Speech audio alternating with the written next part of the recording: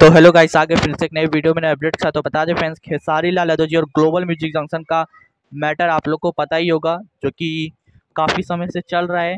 और बता दें फ्रेंड्स, इस पर जो है काफ़ी बड़ा अपडेट भी निकल कर आया है। काफ़ी सारे न्यूज़ चैनल के माध्यम से, काफ़ी सारे आर्टिकल्स में और काफ़ी सारे न्यूज़ चैनल्स पर भी कि खेसारी लाल यादव जी अब जो है किसी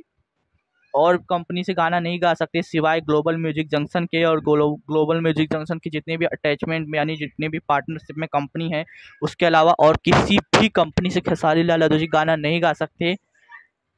तो कहीं ना कहीं ये काफ़ी बड़ा अपडेट जो निकल कर आ रहा है जो कि कोर्ट की तरफ़ से ये बताया गया है जब खेसारी लाल यादव जी सिर्फ़ और सिर्फ़ ग्लोबल म्यूज़िक जंक्शन और ग्लोबल म्यूज़िक जंक्शन के रिलेटेड चैनल्स पर ही गाना गा सकते हैं। अदरवाइज़ और किसी भी कंपनी से, नए कंपनी से तो बिल्कुल भी खेसारी लाल जी गाना नहीं गा सकते। तो ये काफ़ी बुरी खबर है खेसारी फैंस के लिए, क्योंकि काफ़ी बुरा अपडेट है,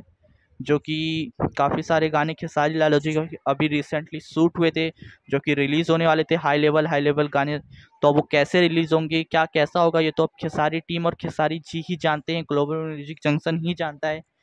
बाकी आगे देखिए क्या होता है इस पर, आगे क्या रिएक्शन और